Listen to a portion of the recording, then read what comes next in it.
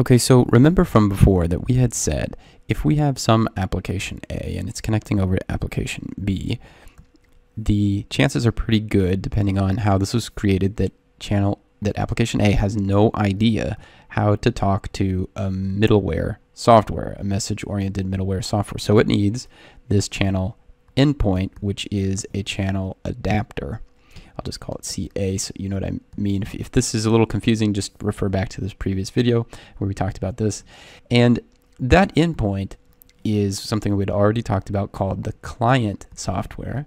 And that client, remember, is running WebSphere MQ client. Web, it's a WebSphere MQ client API so that is running the library code. Look at all these terms, essentially all mean the same thing, right? All of this stuff, really all this, is all exactly the same thing.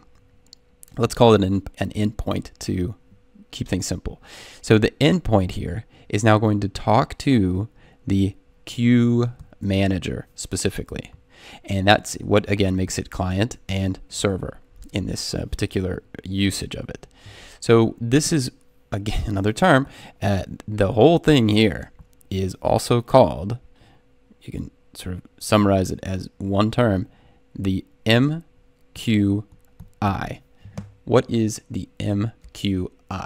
The MQI is one of the three major APIs, one of the three ways of getting the system, getting uh, your application to talk to this MOM, right? This message oriented oriented middleware with API. Uh, and the way this happens here is, first of all, let's look at the at the diagram.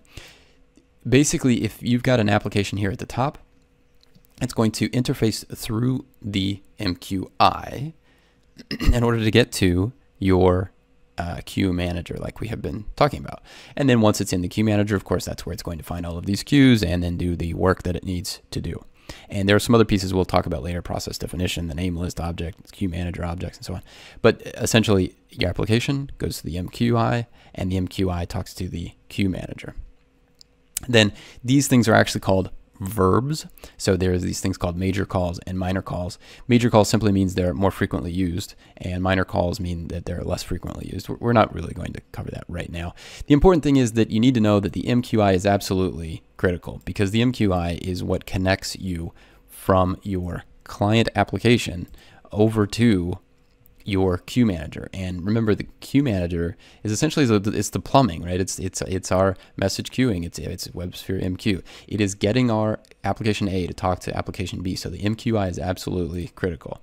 And then separately, when you look at the uh, MQI, uh, what it's doing, it is calling or doing these verbs that we talked about through which programs can access the queue manager and all of its facilities. There are structures that the programs use to pass data to and get data from the queue manager. And we'll cover this, we'll see what this looks like in a, in a second here, but basically it's one of the three sort of APIs, MQI. And then secondly, you have something called a standardized API, or sort of a generic term, standardized API, which means that it's not proprietary to message to, message queue, to MQ. The, the MQI is proprietary to MQ, but you don't have to use it, right? You could also use JMS, which is the Java messaging service, and you could use IBM Message Service Client or XMS. And that's essentially what it's saying here. Using standardized API can add additional flexibility when accessing services through a message queuing infrastructure. This book uses the term standard API to represent APIs that are not proprietary. Okay, uh, then thirdly, you have something called HTTP, or what you probably have heard called a thin client, which means that if you're on, say, a, a smartphone, right, your your your iPhone or Android device or something, and it it doesn't have MQI on it, of course, and it doesn't have and it doesn't have these probably doesn't have these standardized APIs on it. It could though, you could make that happen. But in a simplest case scenario, how are you going to get your uh, your phone to talk to these queues? right? There could be many applications for that.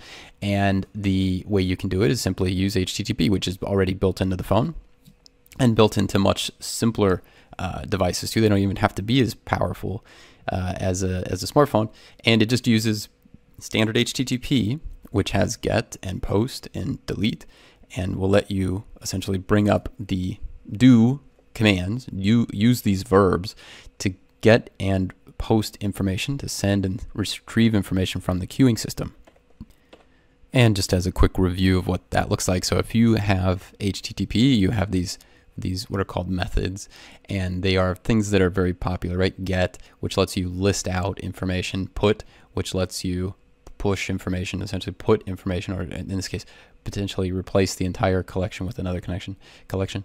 You can post information and you can delete. These are the these are the four main verbs, uh, things that you can do uh, with HTTP in a RESTful environment. REST uh, meaning uh, essentially these these services, um, uh, web services. It's one of the two. There's REST and there's SOAP, and I, I will let you sort of read through that if you're interested. But uh, in the case of this is SOAP, this is, this is a kind of comparison between uh, SOAP and REST. So SOAP is going to look something like this with JAX WS, and REST will be JAX RS. And this app server here is number one, uh, app server two, and you're trying to get information from the one to the other. Um, essentially, these are the two sort of web services that you'll encounter. And the point is that you can have these lightweight clients uh, get to the messaging system through HTTP standard HTTP. So at this point, you might be wondering, what does this actually look like in practice? Well, remember we had seen this MQI calls diagram where the major calls, so the mo you know, most commonly used calls here, one of these is MQCon. And what that's going to do is it's going to, it's your application using the MQI, MQCon, in this case that's the verb, to get into the queue manager and open up, well, not really open, but connect to the queue manager. If you wanted to open the queue, you would use MQ open. But in this case, you first need to connect over to it, and that's MQ con. So what does that actually look like? Well, if you, this is a sample program. This is written in C. You don't have to be a programmer. You don't have to really understand what it's doing specifically in code, but notice how it is using that specific verb. And it happens right off the bat. Connect the application to the queue manager. How is it going to do that? It's going to use mqcon and it's going to give it the queue name. In fact, that's actually all this is doing. It's saying that the queue name is QMA and it's going to use QMA um, as part of this connection over to the to the queue manager. And then separately, what's it going to do? You can actually sort of follow this. Uh, forget the code, really. Just look at some of what it's doing. It's using MQ connection. It's going to connect over to the to the queue manager. It's going to open up one of the queues. And sure enough, look at this. It's giving you the name of the queue. The queue is called Q1 in this case. And then it's going to uh, open, you can just read the comments, open up the input queue. And it's going to do that with MQ open, right? And this time it's got Q2. So it's actually opening two separate queues. There's a Q1 and a Q2. It's going to put a message on the queue and Q2 in this case, right? It's going to MQ put and MQ close. It's going to close out the queue, which means that you can't use any more commands on it. And then it's going to get the message and get we haven't talked about this but get is the command that you use to take a message off of a queue and put it somewhere We'll talk about that more later. And then it's going to close the input queue. So we did an input, you know, MQ open before, and this is another MQ close we're doing here. And then once it's all done, you're going to disconnect from the queue manager. So that's the opposite of MQ uh, con. This is MQ disc con, really, disconnect.